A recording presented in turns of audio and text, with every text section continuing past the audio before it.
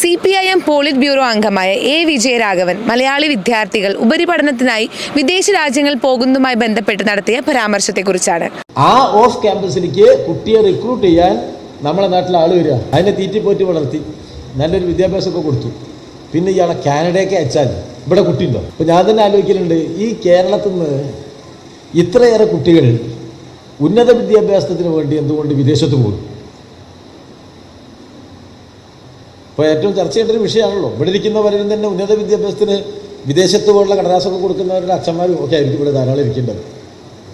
ഇവരൊക്കെ എന്തിനാ ഇങ്ങനെ ഉന്നത വിദ്യാഭ്യാസം? അവിടെ അത്ര മെച്ചാണോ ഇപ്പോൾ ഇവിടെ സ്വാഗത പ്രസംഗത്തിൽ ഏതാനും സർവകലാശാലകളിലേക്ക് അതിന്റെ ഈ മറ്റേത് വരുന്നുണ്ടല്ലോ ഏത് സ്വകാര്യ സർവകലാശാലയിലേക്ക് ഇന്ത്യയെ കൊണ്ടുവരുമ്പോൾ ആ സർവകലാശാലയിൽ ഇവിടെ പഠിച്ചൂടെ?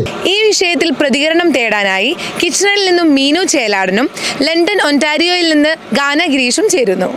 ആദ്യം നമുക്ക് ടൊറന്റോയിലുള്ളവരുടെ അഭിപ്രായം നോക്കാം. C P I M polit bureau അംഗം എ വിജയരാഘവൻ നമ്മുടെ ഈ ഇന്റർനാഷണൽ സ്റ്റുഡൻസിനെ കുറിച്ചിട്ട് ഈ വിദേശ രാജ്യങ്ങളിൽ പഠിക്കാൻ വരുന്നതിനെ ബന്ധപ്പെട്ടിട്ട് ഒരു വിമർശനം നടത്തിയായിരുന്നു. അപ്പോൾ അതേക്കുറിച്ചുള്ളൊരു അഭിപ്രായം അറിയാൻ വേണ്ടിയിട്ടാണ്.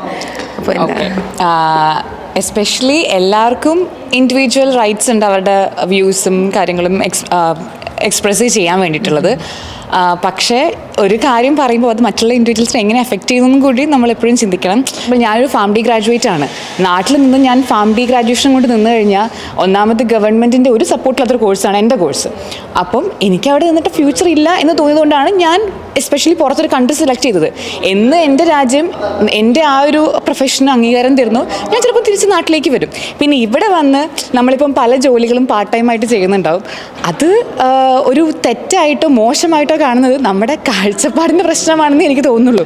അദ്ദേഹം പറഞ്ഞത് ഒരു പോസിറ്റീവ് ആസ്പെക്ട്സിലാണ് അത് പറഞ്ഞിരിക്കുന്നത്. പക്ഷേ അതിന്റെ മീഡിയ സ്റ്റേറ്റ്സ്മെന്റ്സ് വളച്ചൊടിക്ക് ചെയ്യപ്പെട്ടിട്ടുള്ളതാണെന്നാണ് എനിക്ക് തോന്നിയിട്ടുള്ളത്. എന്ന് വെച്ചാൽ നമ്മുടെ നാട് കേരളം അത് ഇന്ത്യയൊക്കെ വലിയ രീതിയിലേക്ക് ജി ഡി പി വളർച്ച കൈവരുന്നുകൊണ്ടിരിക്കുന്ന സമയമാണ്.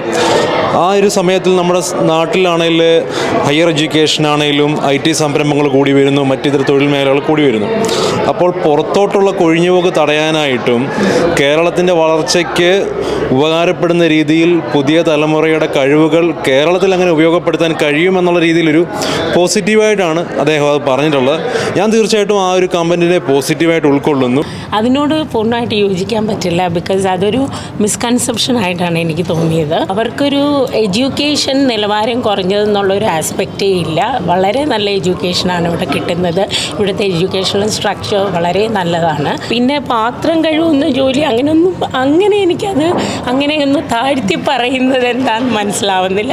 മേ ബി ഡിഷ് വാഷിങ്ങിനൊക്കെ ജോലിക്ക് പോകുന്ന കുട്ടികളുണ്ടാവും. That's part of their kitchen അല്ലെങ്കിൽ ഇപ്പം നമ്മളാണ് പോയാലും നമ്മളുടെ വീട്ടിൽ ചെയ്യുന്നില്ലേ? നമ്മൾ അതൊരു അത് മാത്രം ചെയ്തല്ല ഇവിടെ കുട്ടികൾ ജീവിക്കുന്നത്. ദാറ്റ് ഈസ് ഫോർ ഷുവർ അതിൽ ഇപ്പോൾ ശ്രീ വിജയരാഘവൻ പറഞ്ഞ ആ വാചകങ്ങളെ പ്രധാനപദ അർത്ഥത്തിലെടുത്തിട്ട് അത് വിവാദമാക്കുകയോ അതിൽ നമ്മൾ കാണാത്ത അർത്ഥങ്ങൾ കാണുകയോ ചെയ്യേണ്ട ആവശ്യമുണ്ടെന്ന് എനിക്ക് തോന്നുന്നില്ല. അതിൽ അദ്ദേഹം പറഞ്ഞതിലിപ്പം നാട്ടിൽ നിന്ന് ആരും പുറത്തു പോയി പഠിക്കരുതെന്നോ അല്ലെങ്കിൽ പുറത്തു പോയി ജോലി നേടരുതെന്നോ ഒന്നും ഉദ്ദേശിച്ചിട്ടുണ്ടാകില്ല പക്ഷേ മറു സൈഡിൽ ഇപ്പം നാട്ടിൽ നിന്നുള്ളൊരു കുടിയേറ്റമുണ്ട്. നല്ല രീതിയിലുള്ള വർധനമുണ്ട് ആ കുടിയേറ്റത്തിൽ. ആ കുടിയേറ്റം നമ്മുടെ നാട്ടിലുണ്ടാക്കുന്ന സാമൂഹികമായ കുറേ പ്രശ്നങ്ങളുണ്ട്. കഴിഞ്ഞ ലോക കേരള സഭയുടെ അത്തരം കാര്യങ്ങൾ ചർച്ച ചെയ്തിട്ടുണ്ട്. ഇപ്പം പ്രവാസികളായിട്ടുള്ള ആൾക്കാരുടെ വൃദ്ധരായിട്ടുള്ള മാതാപിതാക്കൾ അവരെ ആര് സംരക്ഷിക്കും? അവർക്ക് വേണ്ട പരിചരണം നൽകും? ഇത്തരം വിഷയങ്ങളൊക്കെ കഴിഞ്ഞ ലോക കേരള സഭ വളരെ ഗൗരവമായി ചർച്ച ചെയ്ത വിഷയമാണ്. അതുകൊണ്ട് ആ ഒരു ആസ്പെക്റ്റിൽ അത്തരം സാമൂഹിക പ്രത്യാഘാതങ്ങളെ കൂടി നമ്മൾ കണക്കിലെടുക്കണം എന്നുള്ള ആംഗിളിൽ അദ്ദേഹം പറഞ്ഞു എന്ന് നമ്മളതിനെ കണ്ടാൽ മതി എന്നാണ് എന്റെ അഭിപ്രായം. നമസ്കാരം. ഞാൻ ഇപ്പോൾ ഉള്ളത് കാനഡയിലെ ലണ്ടൻ ഒണ്ടാരിയോയിലാണ്. മലയാളികളെല്ലാം ഒത്തുകൂടുന്ന ജിജിസ് കിച്ചന്റെ മുന്നിലാണ് ഞാനിപ്പോൾ ഉള്ളത്. കഴിഞ്ഞ ദിവസം C P M polit bureau അംഗം എ വിജയരാഘവൻ വിദേശത്ത് മലയാളികൾ ഉപരിപഠനത്തിനായി പോകുന്നതിനെ കുറിച്ച് ഒരു കമന്റ് പറഞ്ഞിരുന്നു.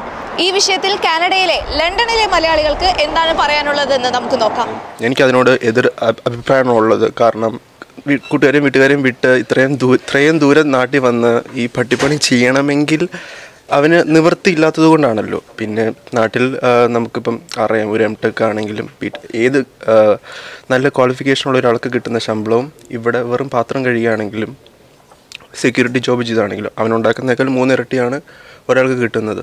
ഒരാൾ എവിടെ സെറ്റിൽ ചെയ്യണം ഇപ്പം പറഞ്ഞ പോലെ ഇവിടെ വരുന്ന പിള്ളേരാരും തിരിച്ചു തന്നെ പോകാൻ ഉദ്ദേശിക്കുന്നില്ല. അവർക്ക് ഇവിടെ തന്നെ പി ആർ ആണെങ്കിലും അല്ലെങ്കിൽ കുറച്ച് ഇവിടെ നിൽക്കാനാണ് അവർ താല്പര്യപ്പെടുന്നത്. കാരണം അതിൽ കയറി വേറൊരാൾ അഭിപ്രായം പറയേണ്ട കാര്യവും ഇല്ല. അത് ഒരാളുടെ ഒരാളുടെ വ്യക്തി ഒരു വ്യക്തിയുടെ പേഴ്സണൽ ചോയ്സാണ് തീർച്ചയായും അത് ഈ വരുന്ന കുട്ടികളെല്ലാം അപമാനിച്ചുള്ള ഒരു സ്റ്റേറ്റ്മെന്റ് ആണെന്നാണ് എനിക്ക് പറയാനുള്ളത്. എവിടെ ഒരു മനുഷ്യൻ പഠിക്കണം എന്നുള്ളത് അവരുടെ പേഴ്സണൽ ചോയ്സാണ് പിന്നെ ഈ പറഞ്ഞത് കേരളം ഭരിക്കുന്ന മുന്നണിയിലുള്ള സംസ്ഥാന സെക്രട്ടറിയാണ് അദ്ദേഹം. അദ്ദേഹത്തിന് ഒരു രീതിക്ക് അങ്ങനെ പറയാനുള്ള അർഹതയില്ല. കാരണം അയാൾ അത് തടയാനുള്ള മാർഗങ്ങൾ അയാൾക്ക് ശ്രമിക്കാം. കാരണം അയാളുടെ മുന്നണിയാണ്. പിന്നെ പുള്ളി പാത്രം കഴുകുക എന്ന് പറയുമ്പോൾ നമ്മൾ ആദ്യം നീറ്റിലായിട്ട് വരുമ്പോൾ ചിലപ്പോൾ ചിലപ്പോൾ പാത്രം കഴുകിയെന്ന് വരാം. പക്ഷേ ആ പാത്രം കഴുകി കഴിഞ്ഞ് നമ്മൾ ഒരു പക്ഷേ ആ സ്ഥാപനത്തിലോ അല്ലെങ്കിൽ നമ്മൾ പഠിച്ച രീതിക്കോ നമ്മൾ ഉയർന്ന പൊസിഷനിലോട്ട് നമ്മൾ കയറും ഇപ്പോൾ നാട്ടിലൊരു ജോലിക്ക് പോയാൽ എത്ര ക്വാളിഫിക്കേഷൻ ജോലിയാണെങ്കിലും ഒരു പതിനായിരം പതിനയ്യായിരം ഒരു ഇരുപതിനായിരത്തി താഴെയായിരിക്കും. അതുകൊണ്ട് ഒരു രീതിക്ക് ഒരു കുടുംബത്തിന് മുന്നോട്ട് പോകാൻ സാധിക്കില്ല എന്നതുകൊണ്ടാണ് തീർച്ചയായും നമ്മൾ ഇതുപോലെയുള്ള മാർഗങ്ങൾ ശ്രമിക്കുന്നത്. അതായത് നാട്ടിലെ ഹർത്താലുകൾ അല്ലെങ്കിൽ ഈ പാർട്ടി അങ്ങനെയുള്ള ഇൻഫ്ലുവൻസ് അങ്ങനെയുള്ള കാര്യങ്ങളൊന്നും നമുക്കിവിടെ ഉണ്ടാവുന്നില്ല. നമുക്ക് വളരെ പീസ്ഫുള്ളായിട്ട് ഇവിടെ ജീവിച്ച് പോകാൻ പറ്റുന്നുണ്ട്. പിന്നെ നമുക്ക് ഇവിടെ ആണെങ്കിൽ ഒരു മിനിമം വേജ് നമ്മൾ ചെയ്യുന്ന ജോലിക്ക് കിട്ടുന്നുണ്ട്. അപ്പോൾ ആ മിനിമം വേജ് ഇവിടെ സെക്യൂർഡ് ആണ്. നാട്ടിൽ ഇപ്പോൾ ഞാൻ ബിടെക് കഴിഞ്ഞ ആളാണ്. അപ്പോൾ ബിടെക് മെക്കാനിക്കൽ എഞ്ചിനീയറിംഗ് കഴിഞ്ഞ ഒരാൾക്ക് നാട്ടിൽ സ്റ്റാർട്ട് ചെയ്യുന്നത് തന്നെ മിനിമം ഒരു പതിനയ്യായിരം രൂപയിലായിരിക്കും. അപ്പോൾ പതിനയ്യായിരം രൂപ വെച്ച് ഒരു മാസം എങ്ങനെ ഒരാൾക്ക് ജീവിച്ചു പോകാൻ പറ്റുന്നു എന്നുള്ളത് വളരെ കഷ്ടമാണ്. അപ്പോൾ ആ സാഹചര്യത്തിൽ നമ്മൾ ഇവിടെ വന്നു കഴിയുമ്പോൾ നമുക്ക് ഇവിടെ കിട്ടുന്ന പാർട്ട് ടൈം ജോലി വെച്ച് തന്നെ നമുക്ക് അത്യാവശ്യം നമ്മുടെ നീഡ്സ് മീറ്റ് ചെയ്ത് പോകാൻ പറ്റുന്നുണ്ട്. എല്ലാ ജോബിനും അതിന്റേതായിട്ടുള്ള ഡിഗ്നിറ്റി ഉണ്ടല്ലോ. അപ്പോൾ സഖാവ് ആ പറഞ്ഞതിനോട് അത്ര യോജിപ്പില്ല. അപ്പം ഡിഗ്നിറ്റി അളക്കുന്നത് കാശ് വെച്ചിട്ടാണെങ്കിലും ഡിഗ്നിറ്റി അളക്കുന്നത് ചെയ്യുന്ന വർക്ക് വെച്ചിട്ടാണെങ്കിലും എന്തുകൊണ്ടും ബെറ്റർ ഇവിടെ വരുന്നതാണ്. എനിക്ക് എന്തായാലും മാസ്റ്റേഴ്സ് ചെയ്യണം. അപ്പോൾ ചെയ്യുന്നതിനെ പറ്റി ആലോചിച്ചപ്പോൾ തന്നെ ഞാൻ നാട്ടിലെ ഒരു നല്ല കോളേജിൽ ഞാൻ എന്റെ എക്സ്പെക്റ്റേഷൻസ് വെച്ചൊരു കോളേജിൽ എത്ര ഫീസ് ആവോ ഏകദേശം അതേ എമൗണ്ട് തന്നെയാണ് കാനഡയിലോ അല്ലെങ്കിൽ യു കെയിലോ പോകാൻ വേണ്ടിയിട്ടും വരുന്നത്. അപ്പോൾ അങ്ങനെയാണ് അങ്ങനെ ഒരു തോട്ട് ഉണ്ടായത്. എന്തുകൊണ്ട് കാനഡയിൽ പോയി ചെയ്തുകൂടാന്ന്? കിട്ടുന്ന ജോലി എന്ന് പറഞ്ഞാൽ ഇതുപോലെ ഡിഷ് വാഷിംഗ് ചെയ്യുന്നവരുണ്ടാവും അതേപോലെ റെസ്റ്റോറന്റ്സിൽ വർക്ക് ചെയ്യുന്നവരുണ്ടാവും വെയർ ഹൗസസിൽ വർക്ക് ചെയ്യുന്നവരുണ്ടാവും. അവർ അവർക്ക് പഠിക്കാനും അവർക്ക് റെന്റ് കൊടുക്കാൻ അങ്ങനെയുള്ള ആവശ്യങ്ങൾക്ക് മറ്റുള്ളവരെ ഡിപ്പെൻഡ് ചെയ്യാതെ അവർ അവരുടെ കാര്യങ്ങൾ അവർ തന്നെ ചെയ്യുവാണ്. എന്റെ അഭിപ്രായത്തിൽ അതൊരു നല്ല കാര്യമാണ്. മാത്രമല്ല എല്ലാ ജോലിക്കും അതിന്റേതായ ഒരു മഹത്വം ഉണ്ടെന്ന് നമ്മൾ പറയുമല്ലോ. വയോധികരുടെ നാടായിക്കൊണ്ടിരിക്കുന്ന കേരളം. നാട് വിട്ട് ദൂരെ വളരാനും പൂക്കാനും ശ്രമിക്കുന്ന പുതുതലമുറ. പറയാൻ ഏറെയുണ്ട് വിദേശ പഠന കുടിയേറ്റത്തെക്കുറിച്ച്. കഴിഞ്ഞ ദിവസം C P M polit bureau അംഗം എ വിജയരാഘവൻ നടത്തിയ പ്രസംഗത്തിൽ മുന്നോട്ട് വെച്ച ഒരു ചോദ്യമുണ്ട്. അവിടെ എന്താണ് ഇത്ര മെച്ചം അതിൽ നിന്ന് തന്നെ നമുക്ക് തുടങ്ങാം.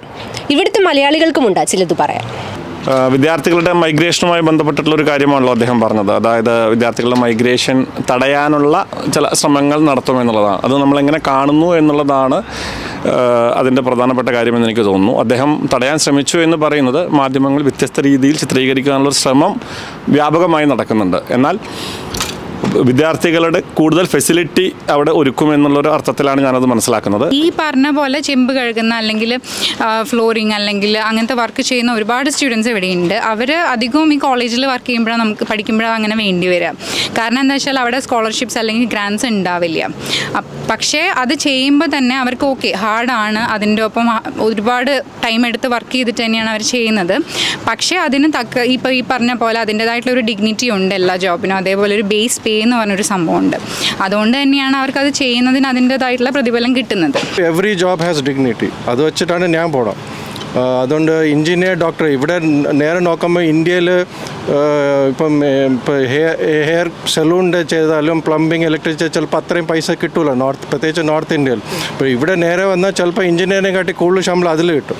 So I believe career wise നോക്കുമ്പോൾ ഏതിലാണ് കൂടുതൽ പൈസ ഏതിലാണ് ഇൻട്രസ്റ്റ് സ്റ്റുഡൻസും എല്ലാവരും ആ ഫീൽഡിലോട്ട് പോകണം regardless of what others right see എനിക്ക് തോന്നുന്നത് ഡെവലപ്ഡ് കൺട്രീസിലേക്കാണ് മിക്കവാറും കുട്ടികളെല്ലാം വരുന്നത് അപ്പം ഡെവലപ്ഡ് കൺട്രീസിലുള്ള കുറേ അഡ്വാന്റേജസ് ഇപ്പം better roads better living conditions അതൊക്കെ ആയിരിക്കണം അതിനുള്ളൊരു അട്രാക്ഷൻ എന്നാണ് എനിക്ക് തോന്നുന്നത്.